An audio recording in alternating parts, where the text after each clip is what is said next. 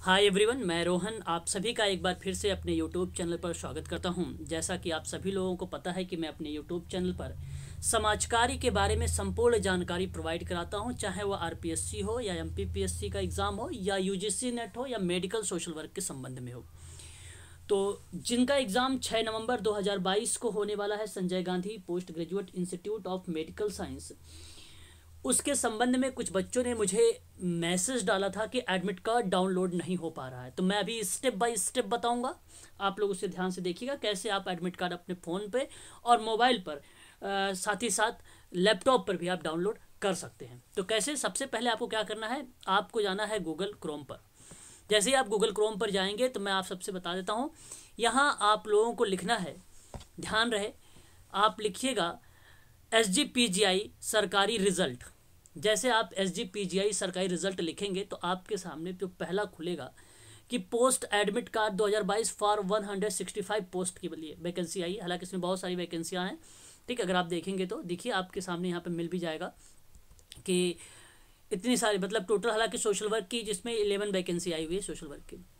और इसके बाद अगर आप नीचे आएँगे तो आपके सामने कुछ सम यूज़फुल आप देखेंगे इम्पोर्टेंस लिंक जिसमें आपको लिखा हुआ है डाउनलोड एडमिट कार्ड आप इस पर क्लिक करिएगा।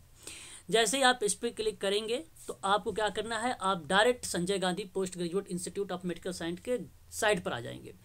ठीक है, यहाँ पे आपको बता दो यूज़र आईडी है, यानी लॉगिन आईडी है, ये आपके मिला होगा आपको मेल पर। जब आप फॉर्म फिल कर रहे थे तो उस दौरान आप लोगों ने इसको भरा होगा। ठीक है? तो यहाँ पर आप क्या करेंगे, जो आपके पास आई है मेल पर, उसका यूज़र आईडी यहाँ पर आपको लिख लेना है। और उसके बाद आपको क्या डालना है, यहाँ पे नीचे पासवर्ड डाल देने हैं, ठीक है? पासवर्ड जो है आपका, उसे आपको यहाँ पे अप्लाई कर देना है, ठीक है? और अप्लाई करने के बाद आपको यहाँ पे देखना है कैप्चर कोड कैप्चर कोड देखेंगे तो आप जैसे जैसे लिखा हो, देखिए पहले स्मॉल में लिखा हुआ तो इसलिए आप स्मॉल में ही लिखेंगे। ठीक है, फिर एम आई है डब्ल्यू है, फिर उसके बाद एक्स है, फिर बी है, फिर फोर है, और फिर सी है।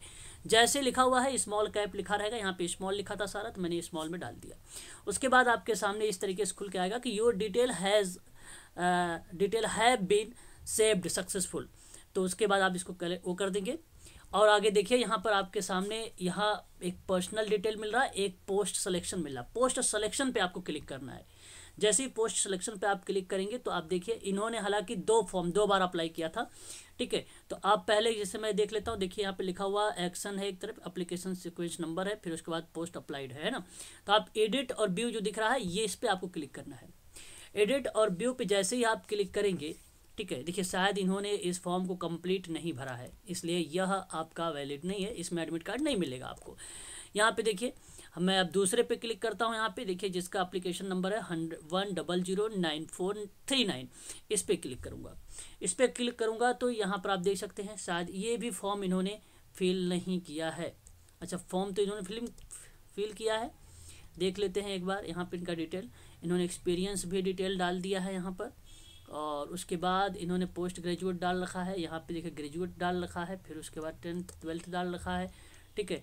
परमानेंट एड्रेस भी डाल रखा है, फिर अदर पर्सनल डिटेल भी डाल रखा है। देखिए, एडमिट कार्ड में क्यों नहीं निकल रहे हैं? आप यहाँ पर देख सकते हैं, इनकी फ़ीस का भी ट्रांजेक्शन यहाँ पर नहीं दिखाई दे रहा है हमें, ठीक है? फ़ीस इन्होंने नहीं सबमिट किया है। यहाँ पर क्या? हाँ यहाँ पर फ़ीस जिन बच्चों की फ़ीस सबमिट नहीं होगी, जिन बच्चों की फ़ीस सबमिट नहीं होगा और जिन्होंने एग्ज़ाम सेंटर का चुनाव नहीं किया होगा, उनका एडमिट कार्ड नहीं आएगा। ठीक है? तो जैसे आप यहाँ करेंगे ना तो इसके बगल में यहाँ पर आप देखेंगे तो यहाँ आपको आ जाएगा एडमिट कार्ड। इस पर क्लिक करते ही आपको एडमिट कार्ड मिल जाएगा। ठीक है? यदि आप और जानकारी चाहते हैं तो आप मुझे जो है कमेंट कर दीजिएगा। मैं आपको जो है बता दूँगा कि एडमिट कार्ड कैसे डाउनलोड करें। और यदि आपको फ़ोन में निकालना है तो फ़ोन में जैसे ही गूगल आप खोलेंगे तो यहाँ साइड पे आपको जो है तीन डॉट मिलेगा। इन तीन डॉट पर आप क्लिक करेंगे तो वहाँ आप देखेंगे तो एक डेस्कटॉप मिलेगा। तो डेस्कटॉप कर लीजिएगा आप, ठीक है, डेस्कटॉप मोड कर लीजिएगा तो आप वहाँ से भी डाउनलोड कर सकते हैं, ठीक है। अधिक जानकारी के लिए आप मुझे व्हाट्सअप पे या आप कॉल करके पूछ सकते हैं जानकारी के लिए। मैं डिस्क्रिप्शन में अपना नंबर भी दे रहा हूँ और इसका लिंक भी आपको प्रोवाइड करा देता हूँ। आप ऐसे एडमिट कार्ड कार्ड जो है डाउनलोड करें, आपको निकल जाएगा, ठीक है, कोई दिक्कत नहीं होगी।